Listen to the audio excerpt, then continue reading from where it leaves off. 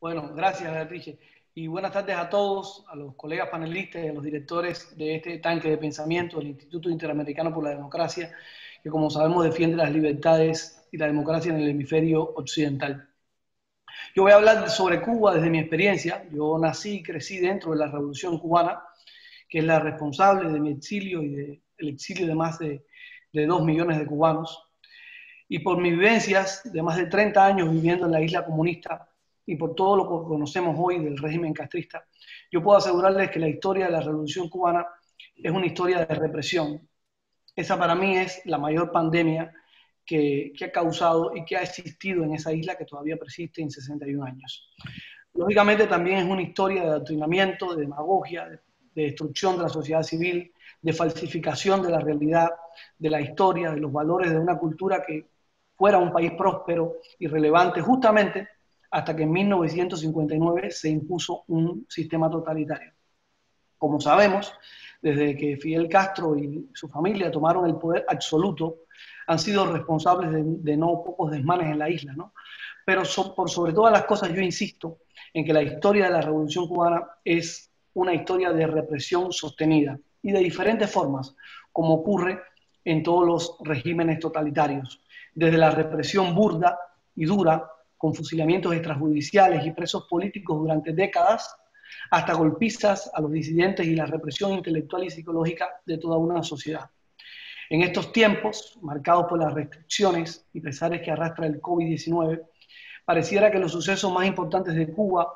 y no solo en los medios de comunicación de masas del país, que como saben están en manos del Estado, sino que en algunos otros lugares, lamentablemente, parece que todo en Cuba eh, todos los problemas de Cuba son en que la gente no tiene suficiente eh, dinero o acceso por culpa de un falso bloqueo,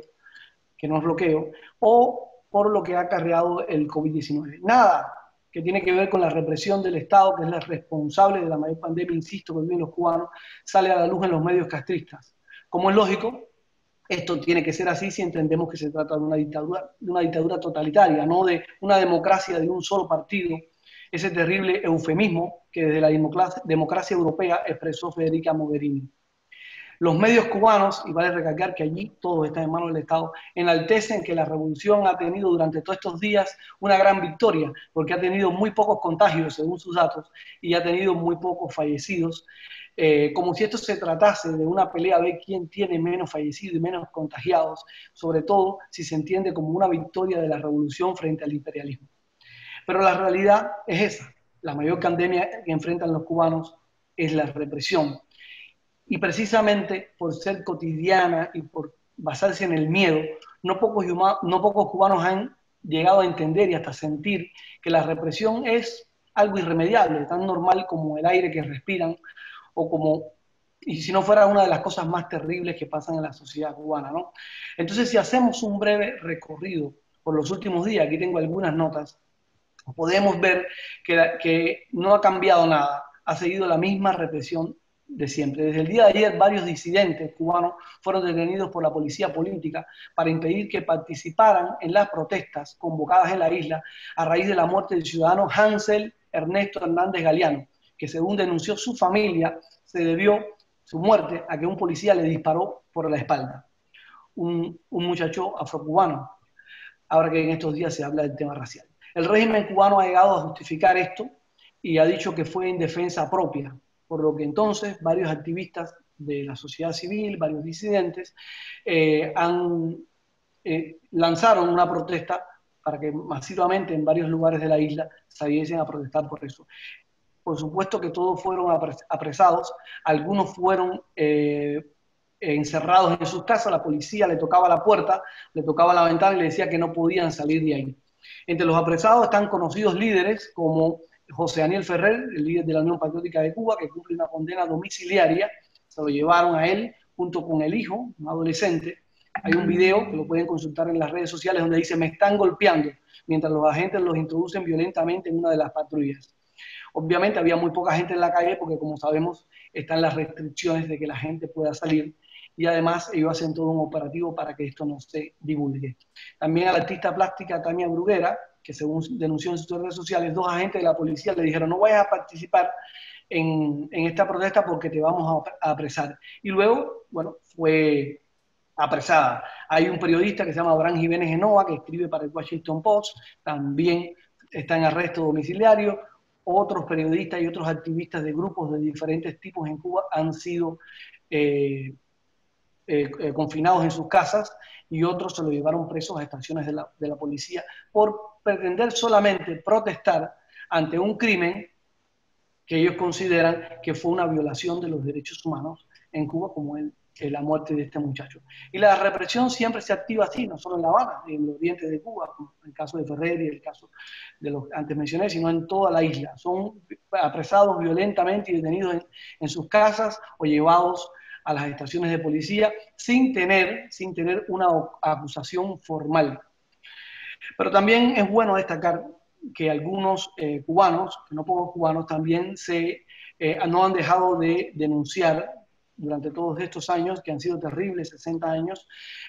los desmanes que, que, viven. Por ejemplo, eh, hay una denuncia que se publicó ayer en Radio Televisión Martín, donde el activista Adrián Coronot Steven, del movimiento opositor Nueva República, que está confinado en la cárcel de, de Valle Grande, logró hablar por primera vez con sus familiares y con uno de, la, de con el líder de su grupo y le contó cómo es que había sido llevado preso. Resulta ser que este muchacho estaba en un taller donde él trabaja para, como eh, cuenta propista, es decir, como un negocio eh, básicamente privado, eh, y entonces se lo llevaron presuntamente porque él había atacado eh, verbalmente, había tenido una discusión con una señora que pone las multas, una, una, una, agente del, del, Estado cubano. Y entonces lo llevaron, él protestó, le cayeron a golpes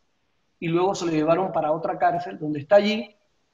bajo el delito de atentado. Es decir, y esto y, otros hechos eh, no son aislados, se trata de una situación cotidiana en la, en la isla que se agrava y que sale a la luz pública cuando se convocan a manifestaciones en sitios públicos como este que aterroriza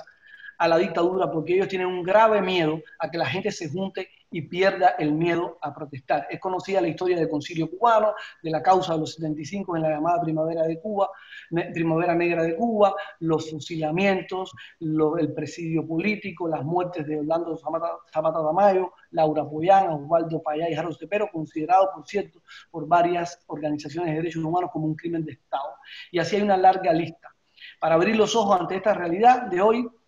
los que quieran saber qué es lo que pasa en Cuba solo, solo, necesitan leer las noticias y las denuncias que se hacen en diferentes medios de comunicación, muchos sostienen esto, y también para comprender, por ejemplo, eh, como esto es una cuestión histórica, por citar un solo, un solo, un solo libro, podría citar el libro de un conocido director de este instituto, que es Contra toda esperanza, de Armando Valladares, donde hay un verdadero, eh, una verdadera demostración de cómo en Cuba los derechos humanos no importan, lo que importa son los derechos que se adjudica el propio Estado. Yo creo que en estos tiempos marcados por el COVID eh, hay que, entender que el COVID es usado por el régimen cubano para eh, atacar también a los que se levantan en nombre de la libertad, como a un activista a, Orlando Casanela, que es un científico, le dijo la dictadura, y está su testimonio en redes sociales, que si salía de la calle a protestar por la muerte de este muchacho, iba a ser condenado como propagación